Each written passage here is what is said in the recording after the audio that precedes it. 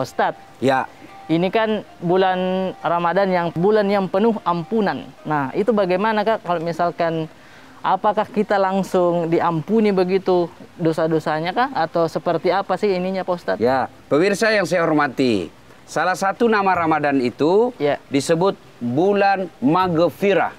Bulan penuh ampunan. Masalahnya, apakah semua orang yang mendapati bulan suci Ramadan otomatis dia dapat ampunan? Langsung dia hapuskan semua dosa-dosanya? Tentu tidak. Oh, tidak. Dia harus berikhtiar, dia harus bekerja, dia harus beramal. Oh. Tidak mentang-mentang dia sebenarnya Ramadan dia tidur aja kerjanya. Dia bilang. Dia tidak sholat duhur, tidak sholat asar. Tidak, dia harus meraih ampunan itu. Raih ampunan Allah. Bagaimana cara meraih ampunan Allah?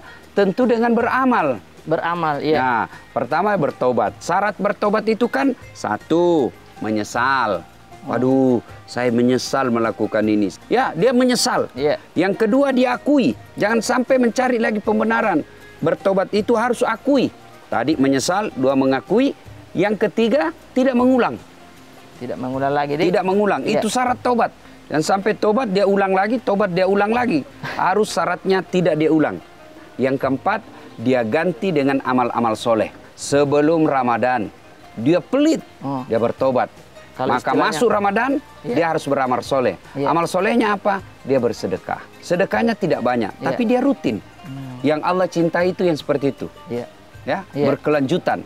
Nah orang yang memasuki bulan suci Ramadan tapi dia tidak bertobat malah dia semakin maksiat bukan diampuni dosanya malah dia semakin numpuk dosa-dosanya maka tidak menjadi jaminan bahwa masuk Ramadan otomatis diampuni tapi harus diraih Harus harus, diambil ampunan itu dengan cara apa bertobat dengan amalan-amal amal soleh Nah, itu Pak Ya. Jadinya kalau misalkan kita merasa ah nanti saya minta maaf ini deh masuk lagi bulan puasa baru saya minta maaf, ah itu tidak boleh ya. ya jangan ditunda Jangan ditunda. memang ada jaminan apakah ada jaminan kita akan mencapai Iya, Ramadan berikutnya.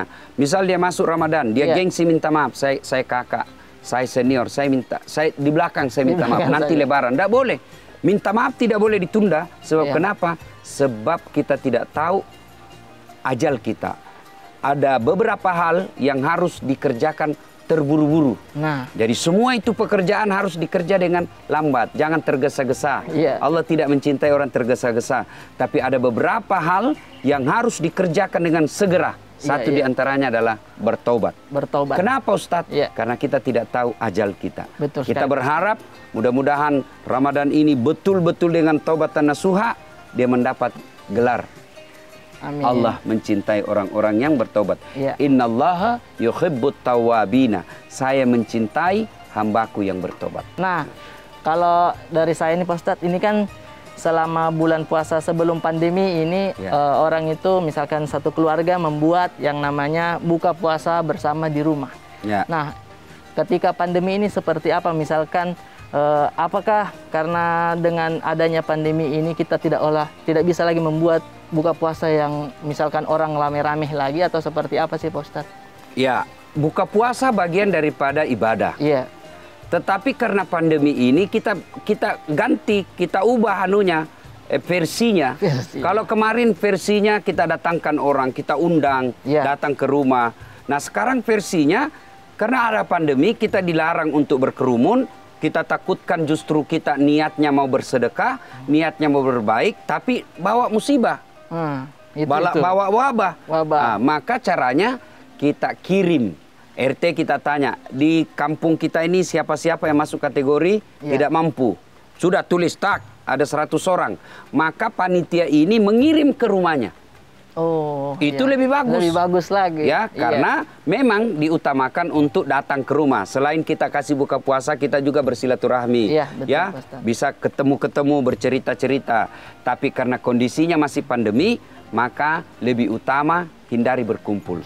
Nah, eh, kalau misalkan di bulan puasa itu Pak Ustadz, ada yang saya tahu istilahnya itu tidur saja kita ini itu sudah ibadah Pak Ustadz, bukan begitu? Nah, itu, Itu seperti apa sudah penjelasan? populer. Iya. Ada yang katakan itu hadis, itu sesungguhnya hadis daif, Oh, bukan palsu, daif. Daif. artinya itu lemah. Ya, tapi tidak mengapa bahwa Iya. tidur yang dimaksud ini tidur yang dimaksud sebagai ibadah adalah Ya. tidurnya orang-orang yang kelelahan berbuat baik. Oh, misalkan Misal mengaji begitu. malam nih, Ya. dia sambil menunggu sahur, dia ngaji dari jam 2 dini hari Ya. sampai sahur. Karena lelah dia Begadang karena malam untuk ngaji. Oke. Ya, untuk tadarus, Ya. untuk baca buku. Itu itu. Ya. Itu tidurnya kalau besok dia tidur, maka tidurnya itu insya Allah menjadi ibadah. Insya Allah menjadi Kemudian ibadah. yang kedua, Ya. tidurnya untuk menghindari maksiat. Oh, Tapi apakah tidur menghindari maksiat otomatis dapat pahala? Tidak. Tergantung tidurnya lagi. Kalau dia tidur dari pagi sampai maghrib, lewat duhur, lewat asar, dia tidak mendapat keutamaan, malah dia dapat dosa. Iya. Karena dia meninggalkan kewajibannya. Nah. Inilah yang orang uh, Nabi katakan, dia tidak mendapat apa-apa kecuali lapar dan dahaga. Betul. Jadi tidur memang menjadi ibadah ketika tidurnya karena lelah beribadah dan tidurnya untuk menghindari maksiat.